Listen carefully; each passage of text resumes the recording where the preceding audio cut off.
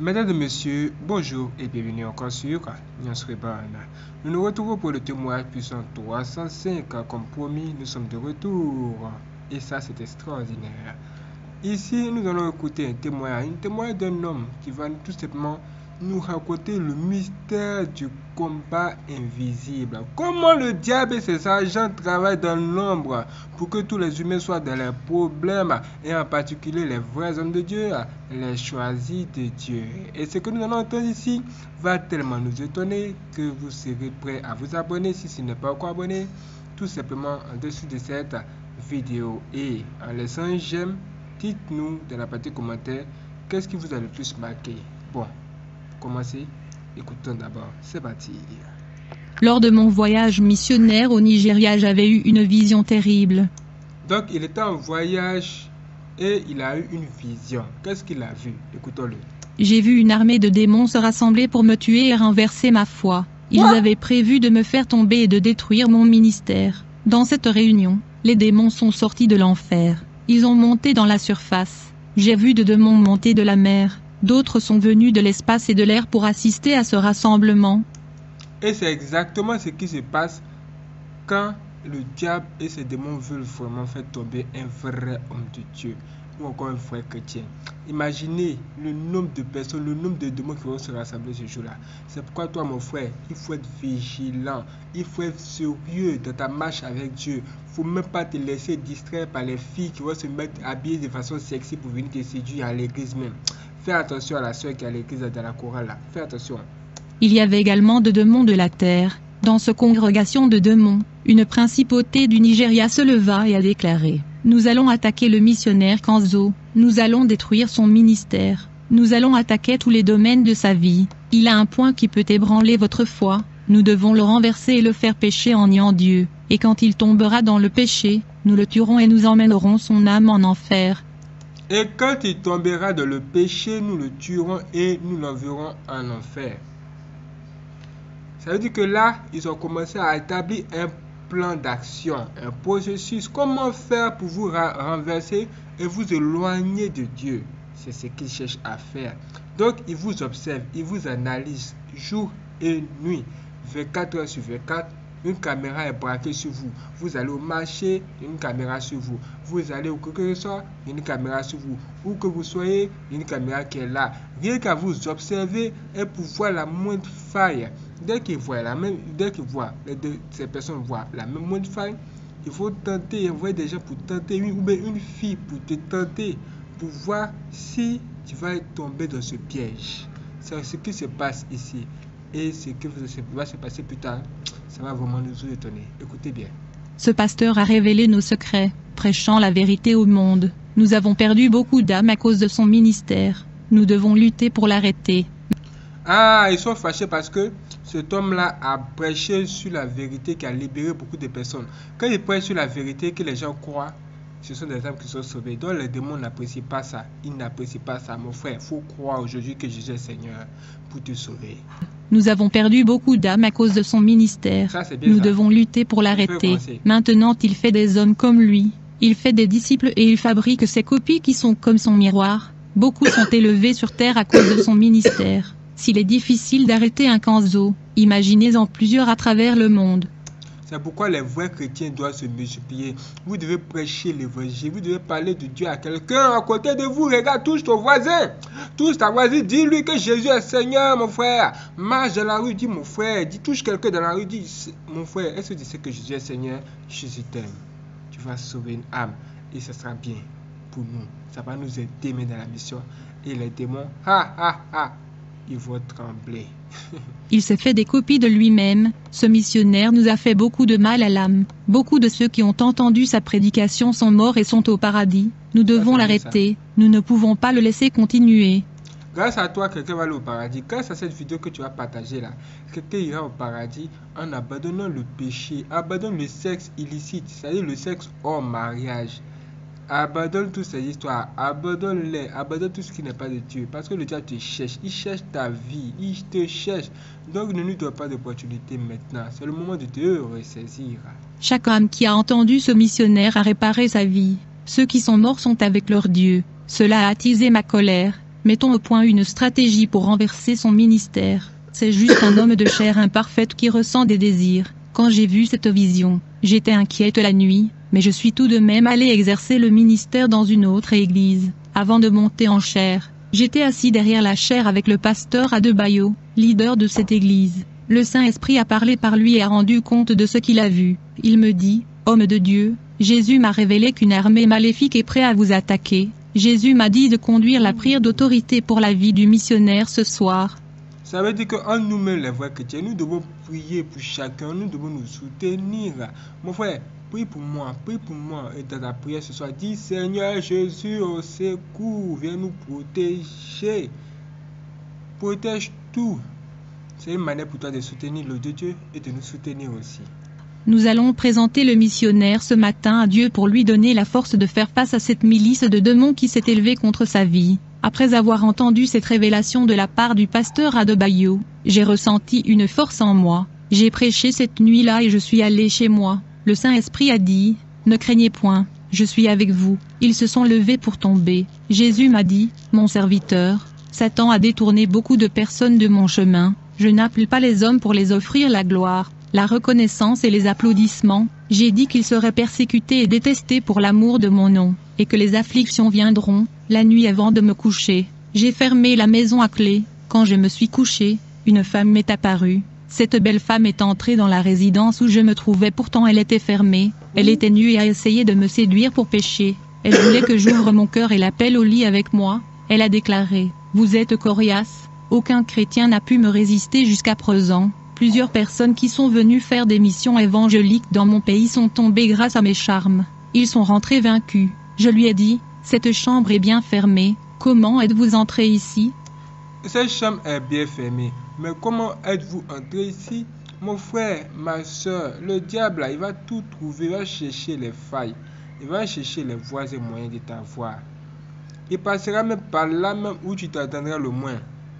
Même si tu penses que c'est fermé là, il va apparaître là. Mais toi, hein, sois vigilant et sois fort. Sois courageux en même temps. Le démon qui arrive te visiter là, il échouera sa mission aujourd'hui. Il échouera sa mission d'aimer au nom de Jésus. Et toi, et la crainte de Dieu, sérieusement. Et évite ça, évite ça, évite ça le plus possible, mes frères et sœurs. C'est pas de la blague. C'est qui cette femme-là? Est-ce une sorcière Ou une sirène? Écoutons-le pour savoir plus. Cela ne sert à rien de me séduire. Vous n'êtes pas de ce monde. Cela ne sert à rien de me séduire parce que vous n'êtes pas de ce monde. Et moi, je sais. Vous faites partie du monde spirituel. Vous vous matérialisez sous la forme d'une femme. Et il nous décrit exactement ce qui se passe à ce niveau. Si vous rencontrez une telle situation, sachez que c'est ça. C'est en réalité ça. Écoutez bien. Votre présence maléfique ne me trompe pas. Peine Voilà. perdue Satan, j'ai commandé cette sirène en disant, ne résistez pas à la puissance qui est dans le sang de Jésus. Du coup, son masque est tombé, et elle a montré sa vraie forme. Cette belle femme n'a pas pu résister. D'abord, elle se transforma en un esprit, puis en monstre ayant des cornes. Au moment où j'observais cette transformation, j'ai vu le ciel s'ouvrir. L'ange de mon ministère est descendu vers moi, et puis mon ange gardien est apparu et ensemble, ils se sont battus avec ce monstre, le faisant fuir. Ce diable a voulu me faire tomber dans la prostitution. Se faire prostituer est un péché pour les méchants. Et le plus grave est celui qui connaît la vérité et qui tombe dans le lien de la prostitution. Et commettre l'adultère avec un démon qui s'est matérialisé est une terrible abomination devant Dieu.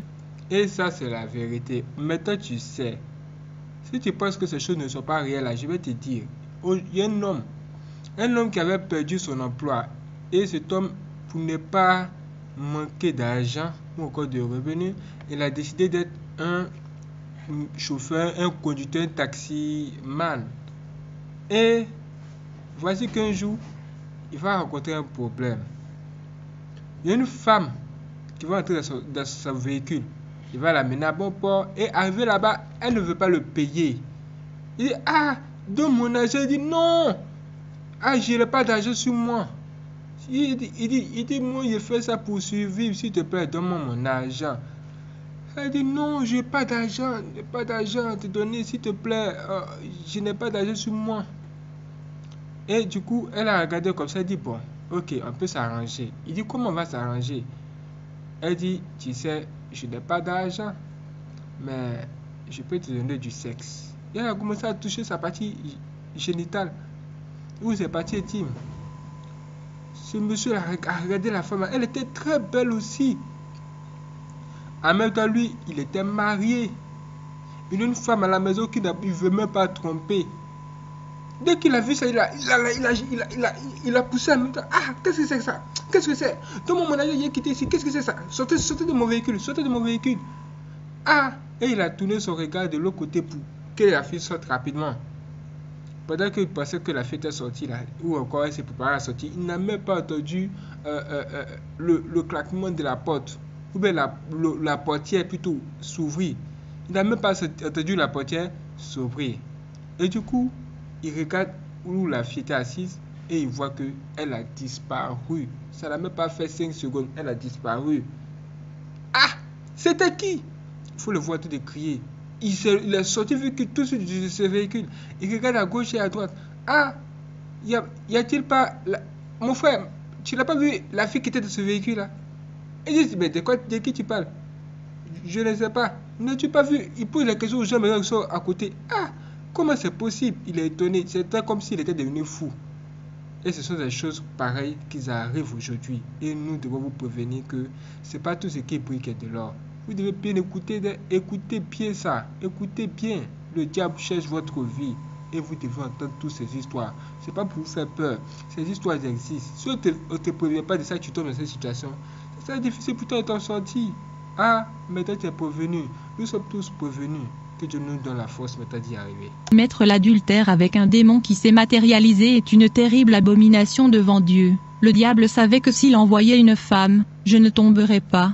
Il est donc venu lui-même sous la forme d'un modèle. Lorsque Satan veut détruire un homme de Dieu, il propose des choses attrayantes. Dans ce court passage que j'ai eu au Nigeria, j'ai entendu parler de la célèbre église du synagogue des nations du prophète Tibi Joshua. J'ai rendu visite à ce temple qui se trouve à Lagos. Je ne le connaissais pas auparavant, car je ne regarde pas la télévision, et je n'opère pas dans les médias et réseaux sociaux pourris de Satan, mais j'ai appris à propos de la renommée cet homme de Dieu quand je suis arrivé au Nigeria. Cet homme est un berger millionnaire. Il n'est pas aussi pauvre que beaucoup le pensent. Il est devenu riche avec l'argent des pauvres gens du Nigeria. Quand je suis entré dans ce temple gigantesque, j'ai vu des foules de gens qui étaient là. Du coup j'ai ressenti une grande charge négative, une énergie très lourde pour une église sérieuse. Je regardais ce prophète lorsque du coup ma vision spirituelle s'est ouverte. Quand mes yeux spirituels étaient ouverts, j'ai vu derrière l'autel un trône noir. Et il y avait une inscription. Je pouvais lire le nom de Lucifer sur ce trône. Ensuite j'ai vu un démon terrible, qui opérait et effectuait de nombreux guérisons miracles. Cet homme Tibi Joshua faisait beaucoup de délivrances et d'exorcismes. Ce que j'ai vu à cet endroit n'était pas une délivrance. C'était des manifestations démoniaques et de grandes possessions se déroulant à cet endroit. Ce berger était en communication avec le démon. Il a appelé les démons à entrer dans les corps de ces personnes. En effet, alors que mes yeux spirituels étaient ouverts, j'ai vu des légions de démons aéroportés, qui ont traversé le toit de ce temple, se camouflant à l'intérieur des corps des gens. Les démons étaient silencieux, cachés secrètement à l'intérieur de chaque personne, sans se manifester, alors que ce pasteur priait pour les gens ces démons faisaient les mascarades. Ils se sont manifestés et causaient de réactions mais ils ne sortaient pas. Il se manifestait et prétendait sortir mais j'ai observé qu'il restait très immobile à l'intérieur de corps de gens. À la fin des réunions, les gens quittaient cet endroit rempli de démons. Dans une église sérieuse, les démons ne peuvent pas se cacher. Ils sont obligés de se manifester et quitter à cause de la présence du Saint-Esprit. Dans mon ministère, ils ont essayé de se cacher, mais le feu du Saint-Esprit les a brûlés. Ils ne pouvaient pas résister aux flammes ardentes de la destruction. Les églises qui ne plaisent pas à Dieu n'ont pas la présence du Saint-Esprit. Dans ces églises, les démons sont résistants et ne se manifestent pas. S'il y a une manifestation de démons, c'est uniquement pour causer la tromperie à l'intérieur de l'église. Dans ces églises où il n'y a pas des craintes de Dieu, les démons se manifestaient et prétendaient de partir pour tromper les leaders et les croyants présents. Le Saint-Esprit m'a révélé que ce faux berger au nom de Tibi Joshua est comme une sorte de messie africain qui a mis en place une charité pour aider les enfants et les pauvres, mais la réalité est que ceci est un moyen pour lui de gagner des âmes pour Satan. Beaucoup m'ont dit qu'il faisait des miracles au nom de Jésus. J'ai dit, même si je parle au nom de Jésus, Cela ne signifie pas que c'est le Saint-Esprit. Matthieu 7,22-23. Plusieurs me diront en ce jour-là. Seigneur, Seigneur, n'avons-nous pas prophétisé par ton nom? N'avons-nous pas chassé des démons par ton nom? Et n'avons-nous pas fait beaucoup de miracles par ton nom? Alors je leur dirai ouvertement, je ne vous ai jamais connu, retirez-vous de moi, vous qui commettez l'iniquité. Le Saint-Esprit ne s'occupe pas de ceux qui n'ont pas les lettres de créance de Jésus, et donc les démons opèrent même au nom de Jésus, alors que j'étais assis dans cette église, alors que mes yeux spirituels étaient ouverts, ma vision sillonna l'église, et j'ai vu au-delà de la chair, à l'intérieur du bâtiment douze réservoirs d'eau bénite de cette église. Ils sont appelés dans cette église les eaux de purification des péchés, où les gens entraient avec Tibi Joshua pour se baigner. L'Esprit m'a révélé que Tibi Joshua est un fornicateur, cet homme séduit les femmes de son église en se prostituant avec eux, pour qu'elles deviennent fertiles et guéries de la stérilité. Dans ce grand temple j'ai vu le principauté qui est le démon de la guérison et le principauté qui est le démon de la fausse délivrance. Tibi Joshua ne libère pas les gens, mais il met plus de démons dans les corps de ce gens.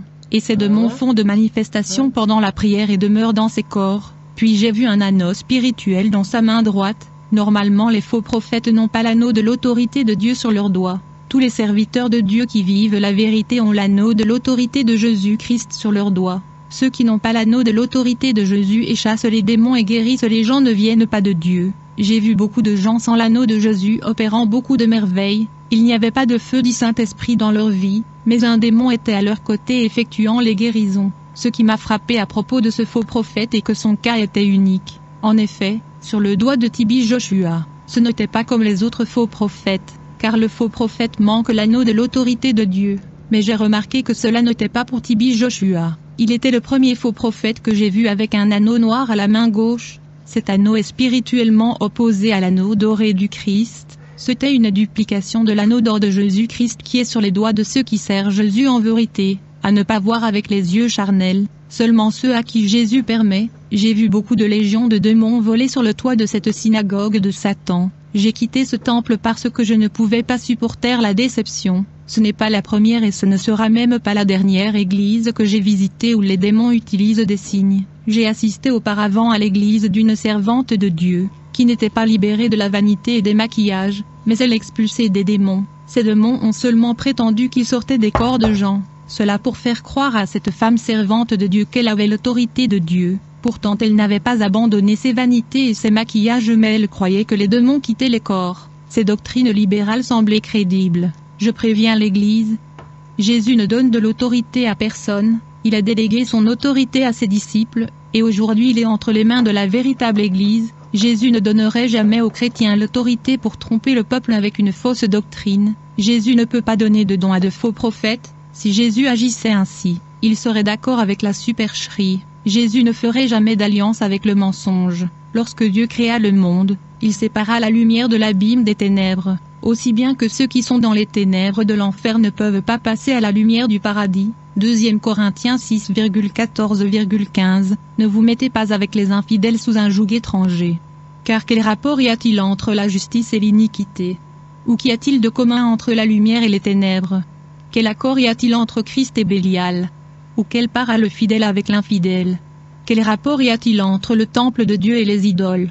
Car nous sommes le temple du Dieu vivant, comme Dieu l'a dit, j'habiterai et je marcherai au milieu d'eux, je serai leur Dieu, et ils seront mon peuple. Jésus est la lumière et ne peut avoir aucune part avec ceux qui servent les ténèbres. Le lendemain matin, je suis allé acheter de la nourriture. Au centre de la ville, parmi la foule nombreuse, un homme de longue distance me regardait droit dans les yeux. Cet homme s'est approché de moi et m'a dit, tu es un chrétien. J'ai répondu, oui, comme vous le savez, le sataniste me dit, j'ai vu ton corps briller de loin comme une petite lumière qui brille dans cette ville sombre. J'ai bon parlé à des hommes qui s'appelaient pasteurs, évêques, apôtres et missionnaires. S'ils ne me disaient pas qu'ils étaient chrétiens, je ne le saurais jamais. Leur corps ne brillait pas, leur lumière était éteinte. J'ai le don et je vois. Le sataniste continua et dit, je me suis efforcé d'empêcher les églises du Nigeria d'être sauvées.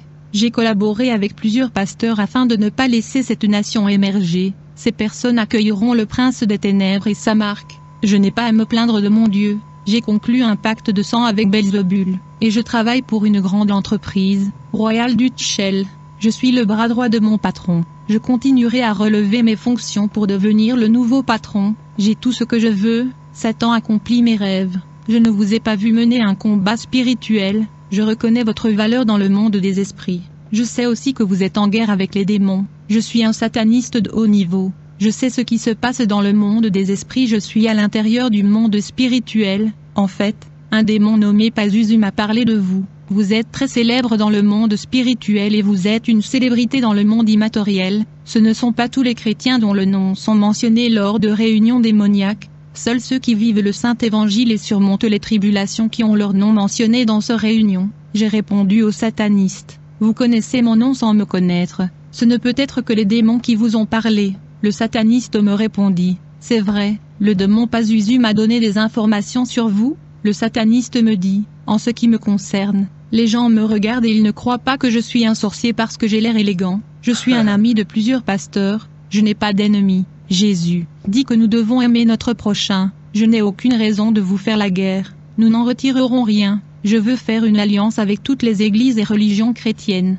Bientôt, tous s'uniront dans un même amour, pour recevoir l'Antichrist qui gouvernera le monde. Je veux gagner cette guerre en nouant des alliances avec les églises et en diffamant le Saint Évangile. Je ne parviendrai jamais à vaincre cette guerre en parlant du mal des chrétiens, mais en les unissant et en les vainquant. Ma mission est de réunir tous les peuples de religions différentes, peuples et races pour l'arrivée de notre roi. Une nouvelle ère viendra et toutes les religions disparaîtront. Une seule religion existera, l'antichristianisme. Lorsque le sataniste a prononcé ces mots, il a disparu devant moi et il a apparu à 30 mètres de distance, puis a disparu de nouveau, je ne sais pas où il est allé, puis je suis allé chez moi. Je me demandais si cet homme était un humain ou un démon. Il avait disparu comme un esprit. J'ai incliné mes genoux en priant Dieu, lui demandant une révélation si cet homme était réel. Jésus m'a montré dans une vision. Cet homme était transporté dans divers lieux et villes à la vitesse de pensée. Il se déplaçait de la sorte car le démon qui le possédait pouvait lui transporter d'un endroit à un autre à grande vitesse.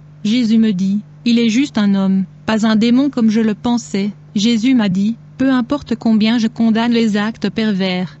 J'aime quand même cette âme, et je veux le sauver. Cet homme a fait un pacte avec Satan, et dans le contrat, il était écrit qu'il aurait cette capacité de disparaître d'un endroit et réapparaître à plusieurs distances. Malgré tout, il est trompé. Satan lui a promis de grandes choses, mais ne réalisera pas son engagement et ses promesses dans cette alliance. Le diable est un menteur. Peu importe la fidélité de ce sataniste envers ce pacte, Satan ne va pas tenir son engagement. Le diable s'efforce et complote de récolter son âme, mais ce sorcier ne sait pas cela. Je veux vous l'amener pour prêcher la parole qui lui permettrait d'échapper à la mort et de gagner le salut. Le choix sera le sien. Satan n'a pas encore pris sa vie parce qu'il est toujours utile à ses objectifs, cependant quand il n'aura plus besoin de lui, il va le tuer et mettra un autre pour le remplacer. Mon serviteur, je suis amour, je n'utilise pas et ne joue pas comme Satan, je te conduis toujours plus près de ma présence. À la fin de la révélation, Jésus m'a montré dans une vision ce sataniste, faisant un rituel pour tuer un chrétien afin de rester avec sa femme. Ce sataniste a jeté un sort sur la femme de ce chrétien.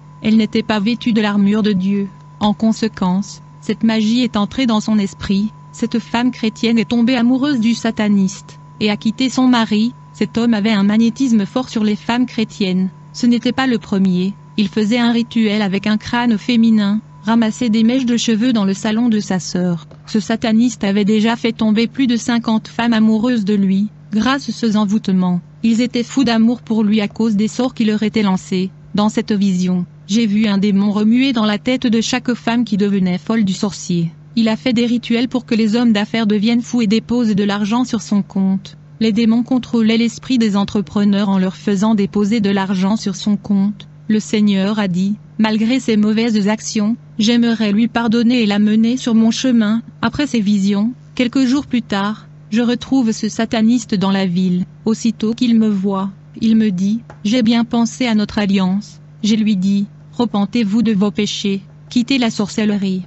vous avez peu de temps à vivre devant vous. Satan trompe votre âme, il va prendre votre âme. Le sataniste a déclaré, j'ai gagné la vie éternelle de la part de Satan lui-même, j'ai pris la potion magique de l'immortalité, j'ai bu beaucoup d'herbes fabriquées par mon maître qui m'a initié à la sorcellerie. Pourquoi vais-je servir votre Dieu qui ne me donnera jamais de richesse? Regarde-toi, pauvre homme que tu es. Cependant tu continues à servir toujours ce Dieu-là. Tu sais ce qui se passera si je laisse tomber Satan, il prendra tout ce qu'il m'a donné et ton Dieu ne fera rien pour restaurer mes pertes. J'ai répondu, Satan m'a aussi offert des richesses. Les médias ont essayé de me rendre célèbre. Les entrepreneurs m'ont offert beaucoup d'argent pour que je puisse quitter mon emploi et travailler pour leurs entreprises. Des églises ont essayé de me faire connaître aux quatre coins du monde. Tout cela, j'ai rejeté pour être ce pauvre homme. Satan a essayé de me corrompre pour me rendre célèbre. J'ai accepté de me séparer de la richesse et du média pour éviter la renommée. J'ai accepté de me diminuer afin que la gloire de Dieu grandisse. Les médias sont sataniques et servent à vanter l'homme et non pas Dieu. J'ai conclu une alliance avec Dieu. Il m'a dit qu'il m'exalterait tant que je ne chercherais pas les médias et la reconnaissance. Soyez plutôt anonyme. Abaissez-vous et soyez un homme simple. Quand j'ai eu fini de prononcer ces mots, le sataniste s'est déplacé et a disparu devant moi, quelques mois plus tard, avant de m'endormir. J'ai eu une vision nocturne, j'ai vu un démon en forme d'ombre entrer dans sa maison. Il enfonça sa main noire dans la poitrine du sataniste, lui écrasant le cœur. Le sataniste tomba au sol se tordant de douleur et les démons saisirent son âme. À l'aube j'étais inquiet. J'ai pris ma Bible et je suis allé à la ville pour le rencontrer. Soudain, le Seigneur Jésus me dit, ne le suivez pas, vous avez déjà fait votre part. Il m'a rejeté, il n'a pas cru vos paroles. Jésus m'a donné une vision la nuit dernière qui se réalisa. Sa mort a déjà été décrétée. Deux semaines plus tard, j'ai vu la nouvelle de sa mort. Il était très connu dans cette ville. Quelques jours après avoir visité cette église de la synagogue, je suis retourné à l'hôtel que j'ai loué au Nigeria. J'ai eu une vision. J'ai vu une église recouverte d'une bâche noire. Cette bâche était à 5 mètres au-dessus du plafond de cette église. Les gens ont prié et leurs prières ne se sont pas montées jusqu'à ce que le ciel se soit arrêté sur la couverture noire. Ma vision est allée plus loin. J'ai vu quatre sorciers effectuer un grand rituel satanique pour bloquer les prières de ce peuple. J'ai demandé à Jésus, pourquoi cette église perd la guerre au profit de ces sorciers?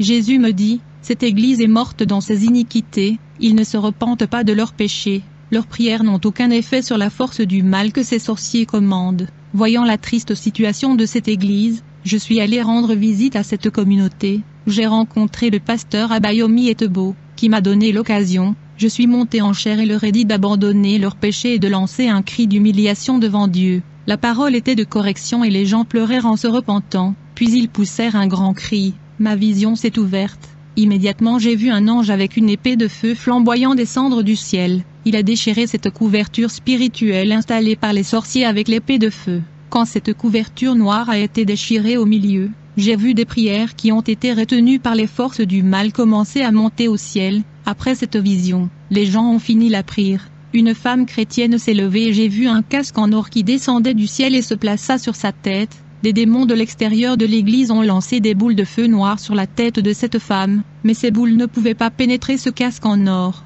Sa tête était bien enduite, et toutes les balles tirées contre son âme se heurtaient au casque et tombaient au sol. J'ai demandé à Jésus ce que cela signifie. Le Saint-Esprit me révéla et dit, elle a été confuse au sujet de la vraie doctrine.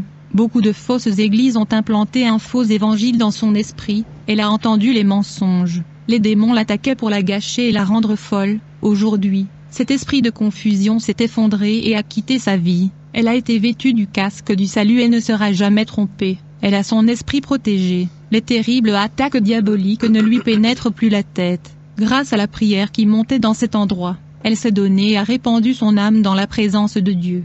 La prière de l'Église était essentielle pour la défaite de Satan et de ses sorciers dans sa vie. Ainsi la prière l'a aidé à faire une alliance de fidélité, en abandonnant le péché. Après cette visite, l'église s'est terminée et je suis entré chez moi. Quand je suis arrivé, je me suis reposé et j'ai prié jusqu'à l'aube. Je termine cette expérience de novembre 2015. À et sœurs, ce témoignage vient de s'achever. Assurément, il y aura un autre témoignage qui va venir. Ils vont nous expliquer ce qui s'est passé après cela. Mais vous avez vu combien de fois les démons sont prêts à tout pour que ceux qui prêchent la vérité sur l'évangile de Dieu tombent. Même tombent dans le péché et, aillent en enfer. Les choses sont, devenues claires dans notre esprit aujourd'hui. La chose même qui conduit les âmes en enfer, c'est donc et décidément le péché. Et le péché, ce sont nos mauvaises actions. Nous devons abandonner cela. Nous devons analyser nos, nos actions seulement et apprendre à faire le bien. c'est que la chose qui peut nous sauver et nous conduire sur la voie ou encore le chemin du paradis. Et quand on vient à Dieu, il faut demeurer dans le Seigneur Jésus-Christ jusqu'à la fin. Parce que la fin d'une chose vaut mieux que son commencement, je vous assure. Je vous assure, c'est pas de la blague, c'est pas de la frime. Nous avons entendu des choses extraordinaires et les prochaines vidéos vont nous aider à comprendre cette chose encore. Si vous n'êtes pas abonné, cliquez sur. Si vous vidéo, cliquez sur la cloche. Pour nous soutenir, vous pouvez cliquer sur Yansrubon. Et vous aurez accès tout simplement à la page d'accueil. Vous allez voir Yansrubon 2 et Yansrubon 3. Abonnez-vous également sur nos deux chaînes pour nous soutenir. C'est extraordinaire. Prenez soin de vous. C'est parti.